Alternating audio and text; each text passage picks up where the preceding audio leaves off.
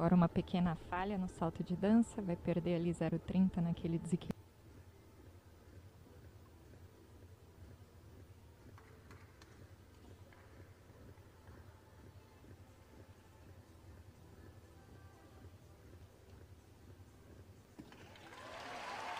Até Dificuldade mais alta, teve algumas falhas de execução, mas vai ter uma boa nota.